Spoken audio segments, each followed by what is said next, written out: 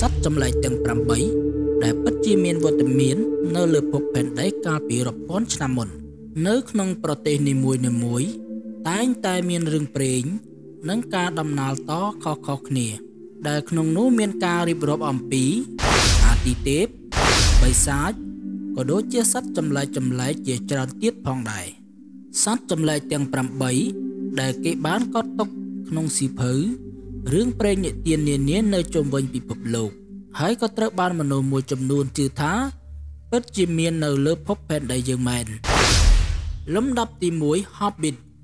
Hobbit គឺជាឈ្មោះនៃអំបូរមនុស្សតូចតូចដែលគេជឿថាពិតជាមានវត្តមាននៅលើភពផែនដីពិតមែនកាលពីចំនួនមុន បើយោងទៅតាមផុសតាងមួយចំនួនជាក់ស្ដែងនៅអំឡុងឆ្នាំ2003នៅក្នុងការរុករកនៅលើដែនកោះមួយឈ្មោះថា For នៅប្រទេសឥណ្ឌូនេស៊ីបានប្រទះឃើញឆ្អឹងលលាក្បាលមួយ ដែលមានទម្រង់ដូចជាមនុស្សគ្រាន់តែវាមានទំហំតូចជាងមនុស្សធម្មតាដល់ទៅ3ដងលំដាប់ទី2 Tasmanian Tiger Tasmanian Tiger គឺជាសត្វខ្លា Tasmanian មើលទៅវាមានរូបរាងដូចជាសត្វខ្លានិងសត្វចចក ប៉ុន្តែសត្វនេះត្រូវបានគេរៀបរាប់នៅក្នុងរឿងនិទានថាជាសត្វដល់ចង្រៃដោយសារតែវាជាបរិវាររបស់បិសាច Tasmanian យ៉ាងណាគេសន្និដ្ឋានថាវាមានវត្តមានតាំងពី2000ឆ្នាំមុនមកម្ល៉េះ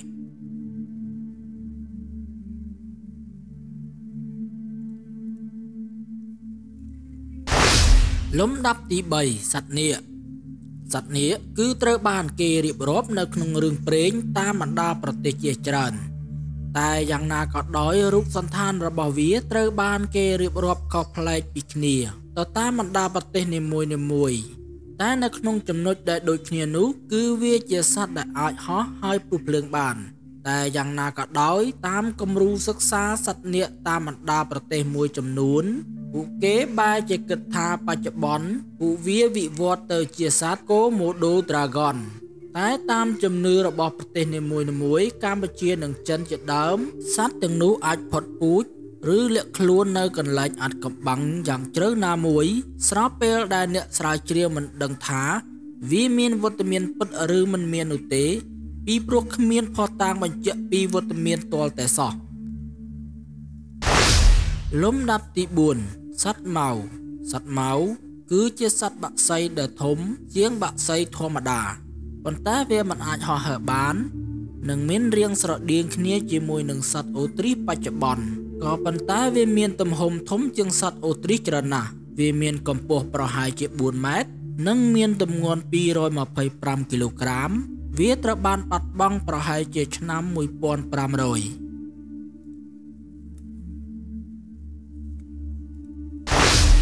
លំដាប់ទី5 Bigfoot Bigfoot គឺជាសត្វចម្លែកមួយនៅក្នុងរឿងព្រេងដែលគេជឿតគ្នាថា វាអាចមានពិតប្រាកដដែលមានមនុស្សបានអះអាងថាបានធ្លាប់ឃើញវាផងដែរ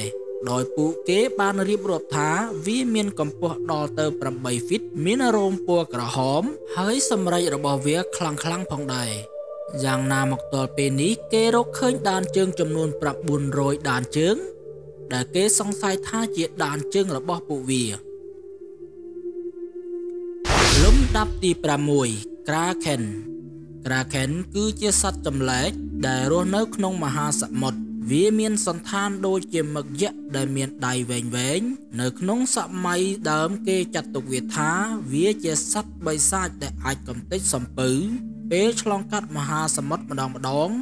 តាមការបញ្ជាក់មួយបានឲ្យដឹងថាវាធ្លាប់មានវត្តមាននៅសតវត្សទី13លំដាប់ទី7 Emogi Emogi ឬគេហៅថាសត្វនាគរបស់កូរ៉េ ដោយរឿងព្រេងរបស់កូរ៉េជារឿយរឿយតែងតែនិយាយពីសត្វនាគនេះយោងតាមរឿងព្រេងកូរ៉េបានបញ្ជាក់ថា វាជាសត្វពស់ធំធំដែលរស់នៅក្នុងសំរោងភ្នំហើយវាចំណាយពេល1000ឆ្នាំ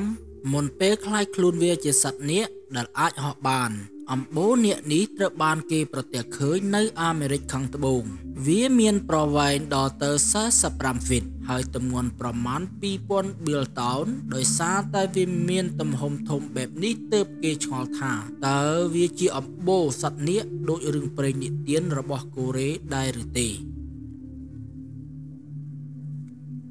លំដាប់ទី8 The Abominable Snowman នៅជួរភ្នំហេម៉ាឡៃ ក្នុងតំបន់មួយចន្លោះនេប៉ាល់និងទីបេធ្លាប់មានរឿងតាក់ទងទៅនឹងសត្វចម្លែកមួយ ដែលមានឈ្មោះថា The Abominable Snowman ដោយនៅក្នុងឆ្នាំ1921មានមនុស្សដែលបានអះអាងថាធ្លាប់ប្រទះឃើញវាដែលវាមានរោមប្រផេះនិងមានកម្ពស់ប្រហែលជា6ហ្វីត ដោយឡែកបើយោងទៅតាមស៊ីភៅរឿងព្រេងក៏បានរៀបរាប់ពាក់ព័ន្ធជាមួយរឿងរ៉ាវវាផងដែរដែលនៅក្នុងរឿងព្រេងនោះចាត់ទុកវាថាវាគឺជាព្រះនៃការប្រមាញ់នៅក្នុងតំបន់ទឹកកក